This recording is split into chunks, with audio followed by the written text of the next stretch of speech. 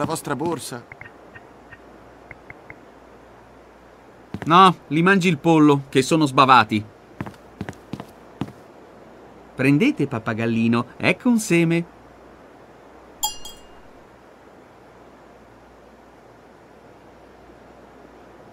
Orsù, adesso ditemi dove nasconde l'astro il vostro padrone Malantunez? Ah, il grande Malantunez brr, è scesi agli inferi. Brr, dammi i semi.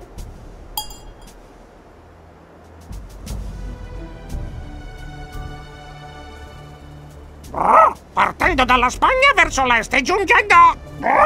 Dammi i semi.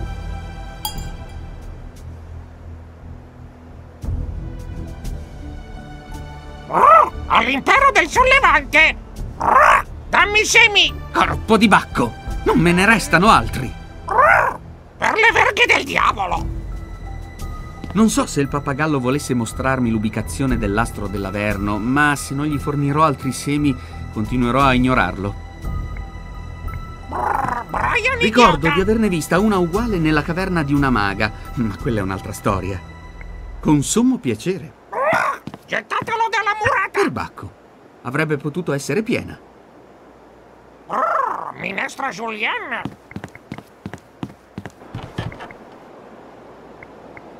Per quanto possa saltare, non vi arriverei mai. Che cosa non darei io per i semi della vostra borsa?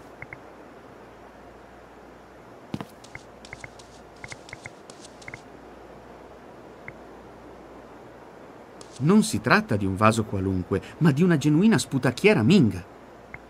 Sarebbe invero divertente.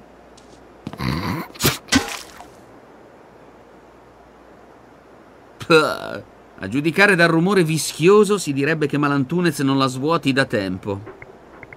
Mi pare che vi si trovi una lingua di drago a sette code che fluttua in un anacronistico bagno di formaldeide. Ho sempre provato una certa repulsione verso tali tipi di appendici elastiche, ma infine, alla mala parata, posso sempre rivenderla. Permettete che vi importuni, Lady Camille. Come desiderate, Monsieur Brashan.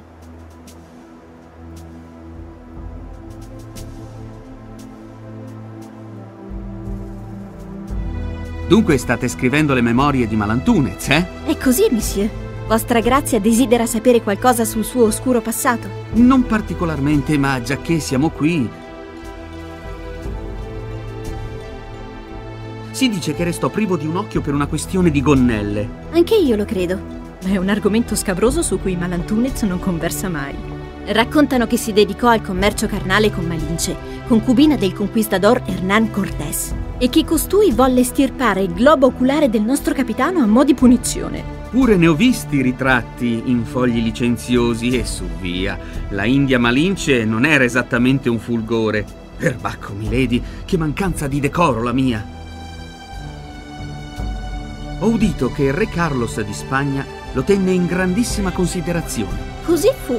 Di fatto l'Orion fu un regalo del re a Malantunez per i servigi prestatigli, poiché costui aveva catturato migliaia di schiavi caraibici, affondato dozzine di navi inglesi e colmato l'erario della corona. Ma l'ambizione di Malantunez non si concluse lì. Presto abbandonò la lealtà patria per sentieri assai più proficui, quali il tradimento e la fellonia. Il suo marcio lignaggio è stato comprovato? Non lo credo, anche se forse ciò spiegherebbe la fetidezza del suo alito. Secondo lui, i Malantunez sono un'antica e nobile casta, ma dopo aver a lungo ascoltato le sue falsità ho potuto raccogliere alcuni dati che odorano di verità. Il nome con cui fu battezzato era Ignacio Antunez, avilense di basso livello sociale che si imbarcò per le Indie in cerca di fortuna. Forse per evadere la giustizia spagnola dopo qualche sporco affare. Come ha ottenuto Malantunez la sua vasta fortuna? Dopo aver servito in Messico agli ordini di Hernán Cortés, intraprese una folgorante carriera commerciale a Veracruz, che lo portò dalle piccole truffe al possesso della flotta mercantile più estesa della Nuova Spagna, oltre a distruggere ogni nave straniera che attraversasse la sua rotta. Ciò che in realtà mi suscita ammirazione è che una donna sappia scrivere in quest'età storica. Accadde che mio padre, il marchese di Le Bouvier, decedesse senza discendenza maschile. Dunque mia madre mi fece passare per maschio per non perdere eredità e terre, e come tale mi educò. Appresi a sommare, a leggere e a scrivere. a lottare, a bere e a sputare, fino a che la mia governante non informò le autorità dell'inganno. Dopodiché dovetti abbandonare la Francia per non essere imprigionata. Da quello giorno vagai di nave in nave, travestita da ragazzo e arruolandomi in quante avventure desiderassi. Ma l'Antunez non merita che perdiamo altro tempo conversando sul suo malvagio passato. Continueremo a parlare tra breve, Lady Camille. Come desiderate, Monsieur Brassan. Sono cani in È uno degli ultimi modelli apparsi sul mercato. Lo so perché nel precedente modello si osservavano più draghi e meno terre. Ben risaputo che la vera terra non gira, già che è il sole che le volteggia attorno, ma con questo posso dilettarmi quanto desideri.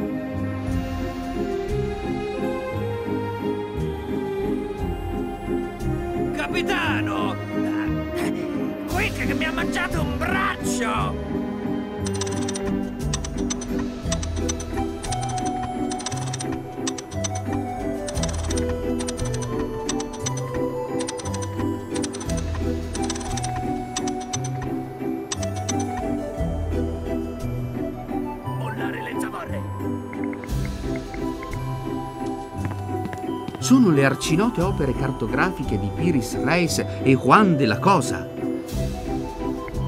No, nell'Interfector ho queste medesime mappe in stato notevolmente migliore.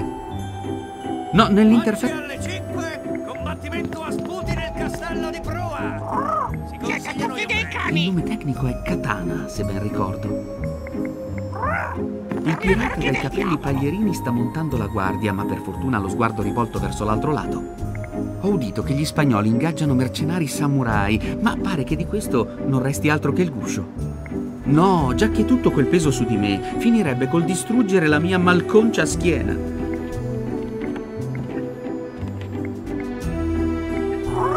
Siete tutti dei cani! Gettatelo Sì, dalla murata! prendiamo il toro per le corna e vediamo che cosa accade.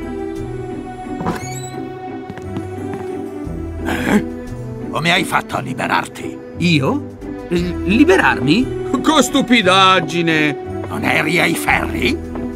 Che io ricordi, no. Inoltre, quale senso avrebbe appostare un pirata tanto spregevole come te per sorvegliarmi se con i ferri fossi già stato impossibilitato a muovermi?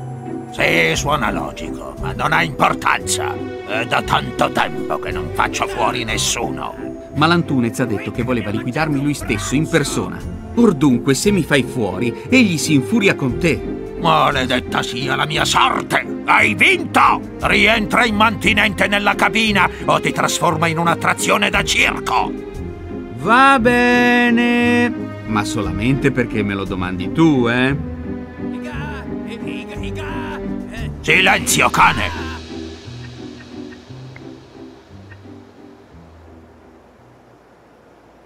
Corpo di Bacco, era ora di trovare alcuna utilità a questa bagatella.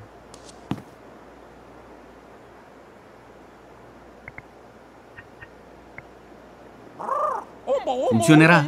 Comproviamolo.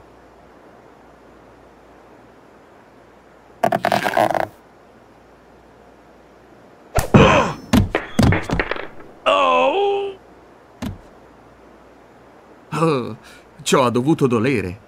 Recupererò la lingua di drago.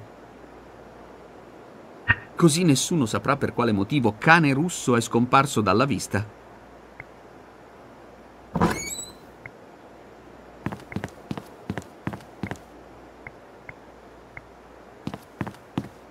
Sì, mi rallegra recuperarlo.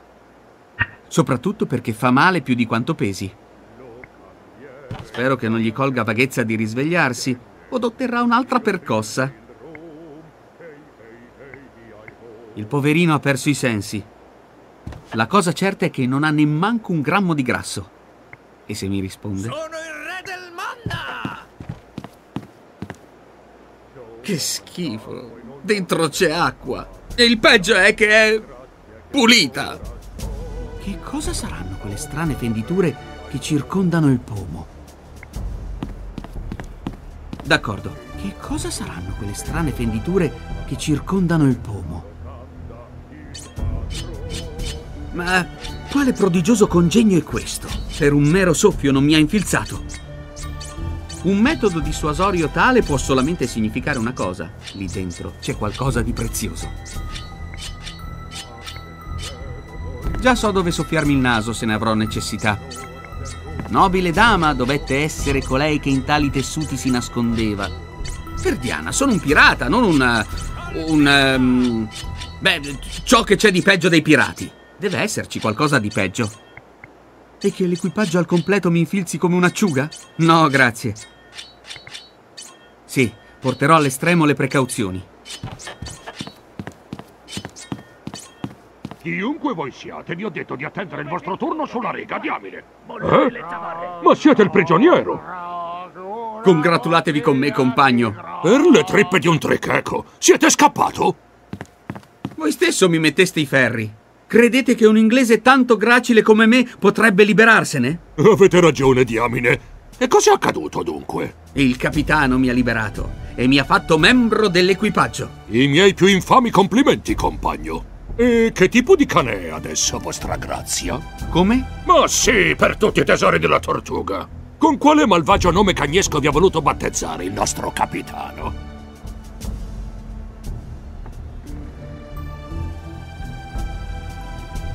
Cane latratore poco morditore. Un buon nome, diamine. A proposito, io sono cane botte. In che cosa posso esservi utile, cane latratore poco morditore?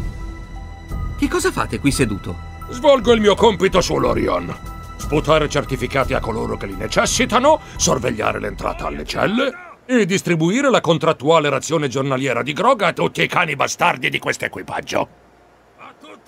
Che tipi di certificati rilasciate? No, io non rilascio nulla, grazie alla mia buona stella. Ciò che faccio con i certificati è compilarli, sputarci e timbrarli. Ce n'è di ogni tipo. Il certificato di igiene minima, quello di porco traditore, quello di casalingo frustrato, quello di omologazione di pezze per occhi, uncini e gambe di legno e, superiore a tutti essi, il certificato di pirata di bassissima moralità.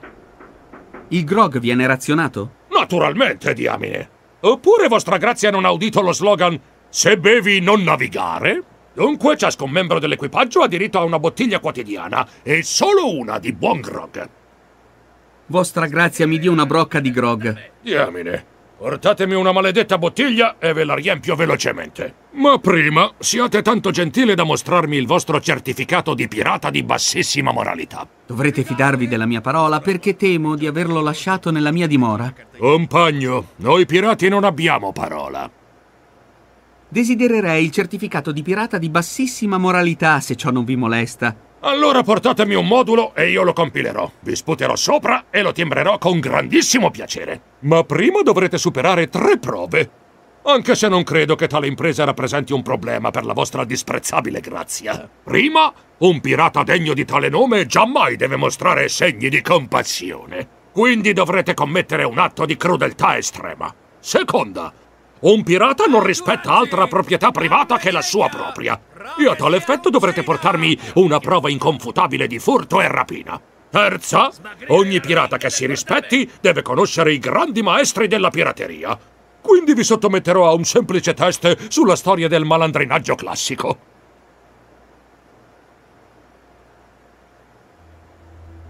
Che tipo di atti considera vostra grazia come crudeltà estreme? Basicamente consiste nello spacciare qualcuno, farlo a cubetti, strappargli le papille, le solite cose. Ma nel vostro caso, già che è fuori questione che massacriate alcun maledetto membro dell'equipaggio né la prigioniera cagna ragazza, non lo so, dovrete inventarvi qualcosa.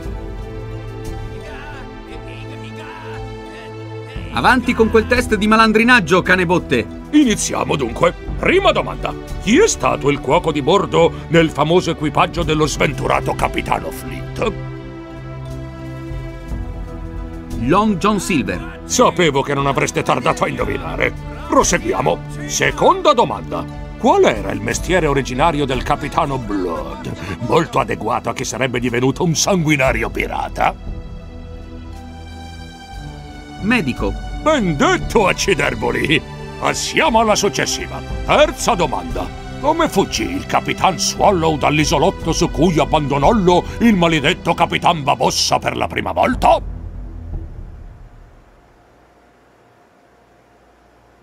Inventando il Tortuga Surf, come tutto il mondo sa. Quale astuzia, vero? E pensare che c'è chi si azzarda ad affermare che venne salvato per puro caso da una nave di trafficanti di rum. Orsù, adesso rispondete all'ultima domanda. Per mezzo di quale ingegnosa combinazione riuscirono i quattro pirati di Cava Lenticchia a prendere il Caribbean Express alla fermata di Isola Cece? Come? Bene, so che la domanda è difficile, quindi vi narrerò gli antefatti. All'inizio delle loro carriere, i pirati con gamba di legno Harry Wobblins, Diego El Zoppo, Jean-David Leclopé e Joao de Passoromo non disponevano di una nave personale, quindi si imbarcarono sul Caribbean Express diretto a Isola Cece, nella cui cava lenticchia trovarono la mappa del tesoro H94856. Da bravi pirati malvagi e attaccabrighe, litigarono tra loro per giorni e giorni, fino a che la spossatezza li indusse a dividere la mappa in quattro pezzi e collaborare gli uni con gli altri. L'ultimo Caribbean Express passava da Cece otto giorni dopo. Giacché in quel momento era mattina, disponevano di otto giornate e mezza per arrivare alla fermata. Il problema era il fatto che, durante la malandrina rissa, avevano perso tre delle loro quattro gambe di legno. Decisero che sarebbero andati alla fermata a coppie, uno indossando la gamba di legno e l'altro appoggiandosi a lui. Dopodiché, uno dei due sarebbe tornato a Cavalenticchia con la gamba di legno, perché un'altra coppia potesse recarsi alla fermata. E così successivamente, fino a che tutti non vi fossero giunti. L'ordine in cui l'avrebbero fatto era assai importante, perché alcuni di essi erano molto più rapidi di altri. Henry Wooblins si mise un sassolino nello stivale, perché il fastidio lo obbligasse a camminare più rapidamente, e ciò, ancorché egli pesasse più che la grande balena bianca, lo rese capace di percorrere la strada fino alla fermata in solamente mezza giornata. Diego il Zoppo era abituato a correre, e per quanto in questa occasione fosse vestito e non venisse inseguito da alcun cornuto infuriato, poteva arrivare alla fermata in una giornata. Jean-David Leclopé si vantava di avere il passo più leggero di tutti loro, ma aveva ingerito alcune bacche lasciative che lo obbligavano a calarsi i calzoni ogni 15 passi. Quindi avrebbe impiegato due giorni e mezzo per arrivare alla fermata. Joao di Passoromo deteneva il record mondiale di inseguimento di polli ma impiegava niente meno che cinque giornate per percorrere il tratto fino alla fermata. Giacché, dopo un violento accesso di fame, si era divorato cinque delle cinque dita del suo unico piede. Vi riassumerò la situazione. Henry Woblin si impiegava mezza giornata per arrivare alla fermata. Diego il Zoppo, una. Jean-David Leclopé, due e mezza. E Joao di Passoromo, cinque. Disponevano solamente di una gamba di legno il Caribbean Express sarebbe passato otto giorni e mezzo dopo e ciascuna coppia avrebbe percorso il tratto nel tempo necessario al più lento dei due. Or dunque, quali due pirati furono i primi a giungere alla fermata? Henry Wobblins e Diego il Zoppo. E per farlo impiegarono una giornata. E adesso ditemi, quale di essi tornò a Cavalenticchia con la gamba di legno? Diego il Soppo. Con ciò giungete a un totale di due giornate. Non si agiti, vostra grazia, che sta andando bene. Quale fu la seconda coppia che camminò fino alla fermata? Joao de Passoromo e Jean-David Leclopé. Con ciò giungete a un totale di sette giornate. E adesso ditemi, quale dei tre pirati che erano alla fermata tornò a Cavalenticchia con la gamba di legno? Henry Wobblins. Con ciò giungete a un totale di sette giornate e mezza. E giacché in quel momento restavano a Cavalenticchia Henry Wobblins e Diego il Zoppo, che necessitavano solamente una giornata per arrivare alla fermata del Caribbean Express, riuscirono a giungere in tempo a salvare le loro vite, a unire i pezzi della mappa, a trovare il tesoro e a passare agli annali del malandrinaggio come i quattro pirati di Cavalenticchia. Congratulazioni, compagno! Avete superato il test di storia del malandrinaggio classico.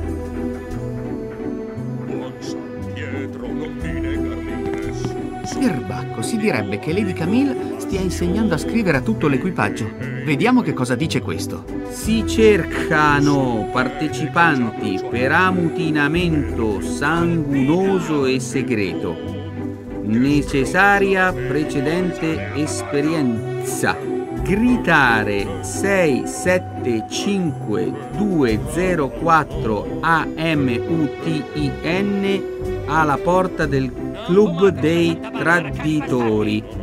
Richiesta assoluta discrezione.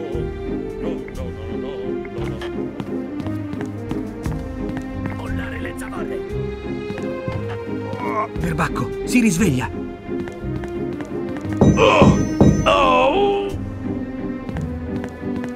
Quel ragazzo ha un sonno invero disturbato.